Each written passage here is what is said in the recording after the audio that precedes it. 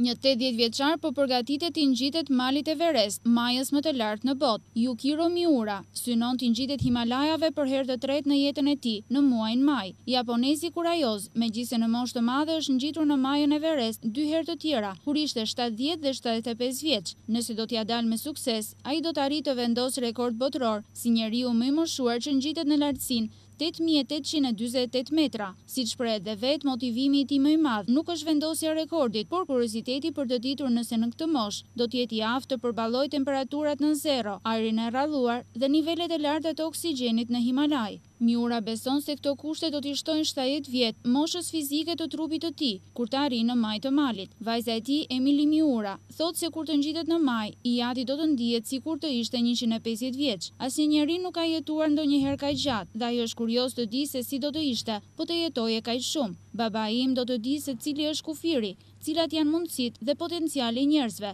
thotë vajza e tij. Ajo që e komplikon dhe më tepër situatën, është fakti se Miura ka bërë tre operacione në zemër vitet e fundit, ka thyer kockën e legenit dhe këmbën në një aksident me ski në vitin dy mijë e nëntë. Megjithë moshën dhe problemet shëndetësore, familja e tij duket e vendosur ta mbështesë tetëdhjetë vjeçarin në aventurën e tij të rrezikshme.